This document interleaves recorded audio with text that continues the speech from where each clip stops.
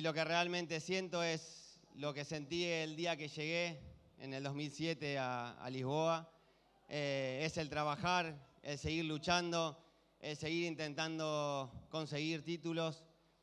Este año eh, el Benfica ganó la 38 y ojalá, ojalá que, el año que viene podamos seguir por el mismo camino e intentar eh, poder conquistar la, 39.